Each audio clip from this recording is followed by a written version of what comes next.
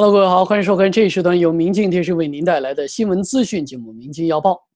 王毅警告挪威说，不要将诺贝尔奖给香港人。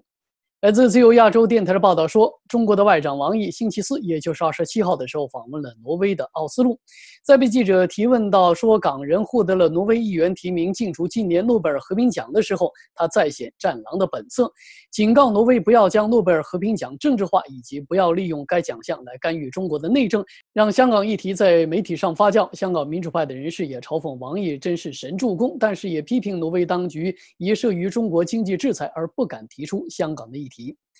中国外长王毅二十七号的当天与挪威的外交大臣瑟雷德进行了会面。跟王毅访问意大利和荷兰的行程不同，挪威的外长并没有直接的提出香港议题和香港国安法。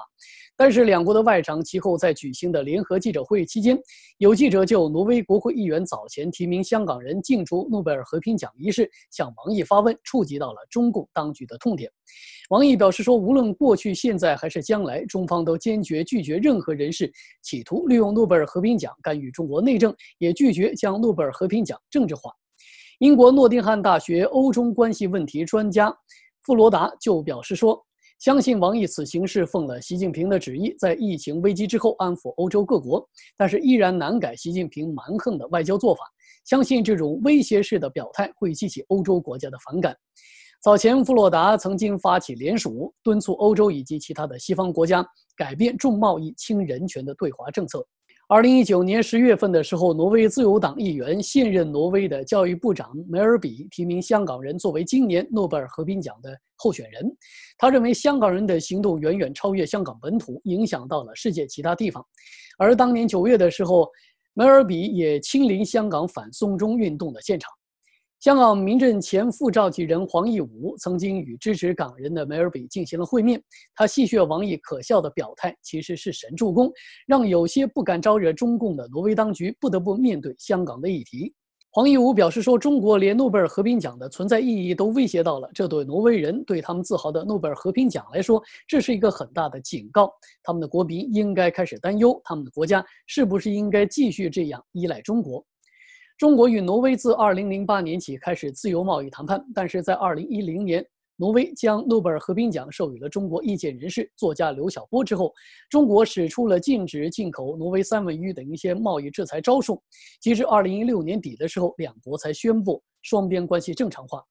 王毅在讲话当中对诺贝尔和平奖的问题指手画脚，成为了舆论的焦点。瑞典驻欧洲委员会前副主席林德布劳德表示说：“王毅要求不要将该奖项政治化，显得霸道而且愚蠢。他似乎根本不了解诺贝尔和平奖的历史。”另外，王毅在这一次的访问当中，在武汉肺炎病毒疫情议题上也再次表现出了战狼的本色，宣称中国虽然是第一个向世界卫生组织报告病毒的国家，但并不意味着。病毒就发源于中国。他还表示说，鉴于新冠疫情的影响，中国和挪威之间早日完成谈判，对双方以及全球供应链之间的经贸合作都有着重要的意义。执行国安法港警察民主派的社群贴文翻旧账。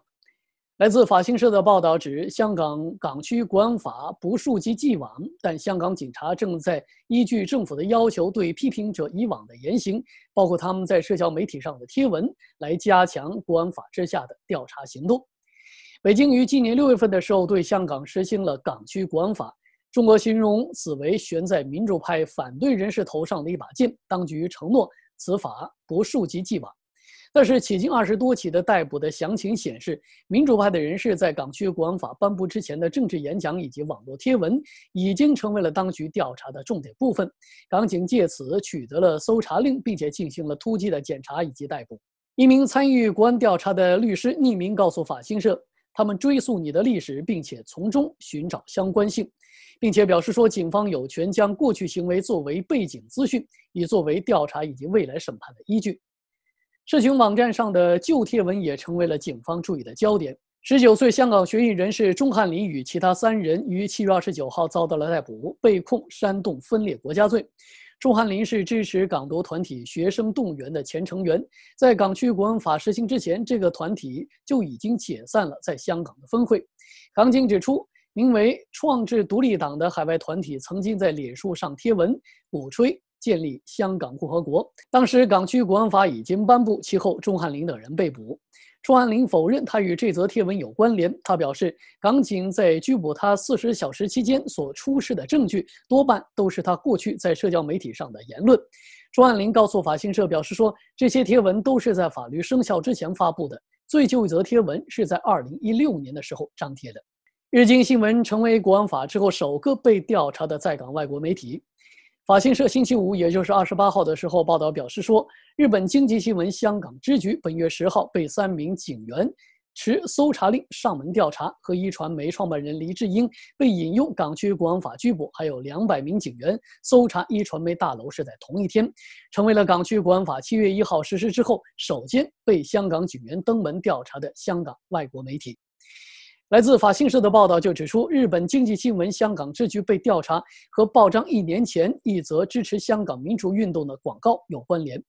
来自香港媒体的报道就指，该广告在去年八月十九号刊出，写有“为自由撑香港”的字句，附以催泪弹打进鸡蛋的图片，并附有已解散的香港众志的英文名。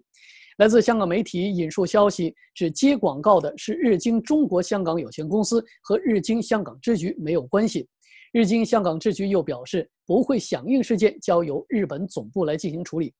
值得留意到的是，一传媒大楼以及日经香港支局被调查的当晚，香港前众志的成员周庭同样被警方引以国安法拘捕，指他涉嫌勾结外国或境外势力危害国家安全，不遵守防疫规范。南非超过二十八万人遭到了逮捕。来自台湾媒体中央社的报道就说。南非为了防止武汉肺炎疫情，实施了封锁措施。在三月二十六号到七月九号封锁期间，有二十八万四十七人因为不遵守防疫规范遭到了警方的逮捕。大部分人被捕的理由是没有待在家中。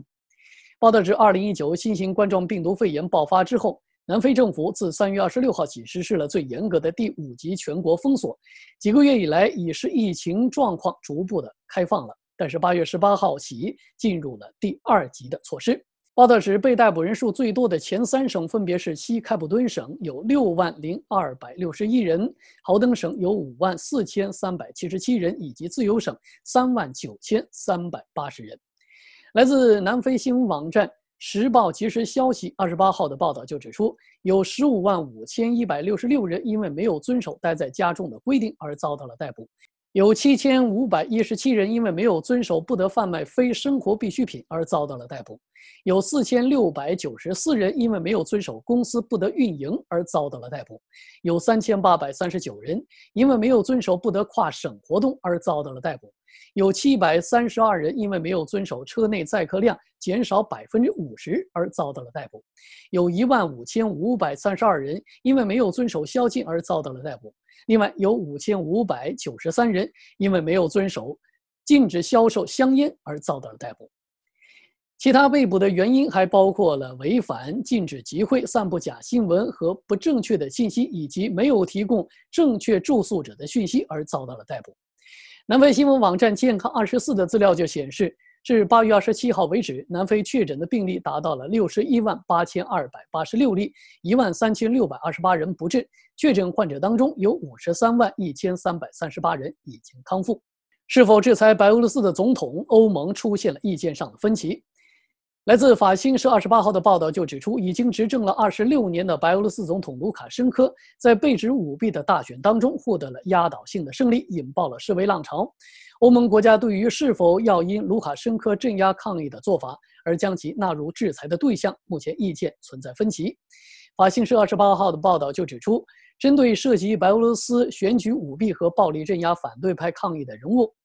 欧盟国家正在研拟一份名单，以实施冻结资产和入境禁令。